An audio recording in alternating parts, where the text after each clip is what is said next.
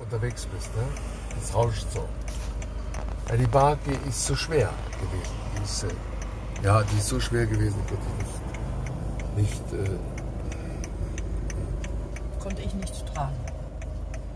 okay, also bis später. Tak, proszę Państwa, jesteśmy teraz w Niemczech, w Osnabryku.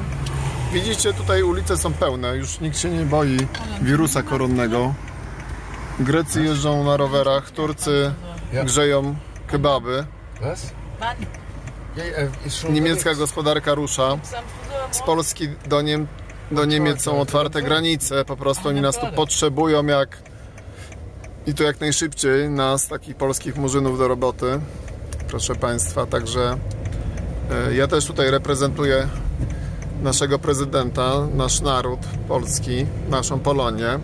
Tutaj Toyota sprzedaje, tam samochody czekają, tutaj rowerzyści już kręcą, tutaj litr i, i kominy budują. Zobaczcie, jak tu się wszystko pięknie rozwija.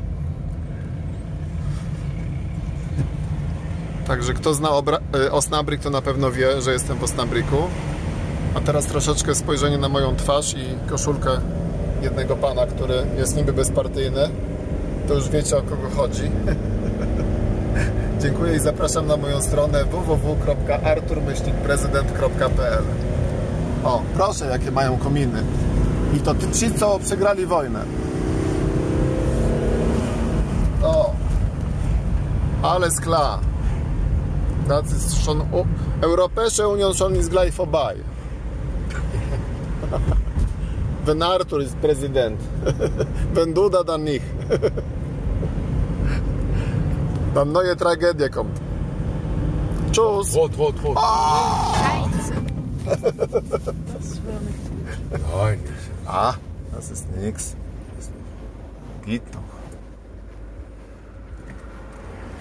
Arthur, muss ein bisschen kommentieren, ne? Rot, rot, rot. Kamera noch nicht aus. Jetzt aus.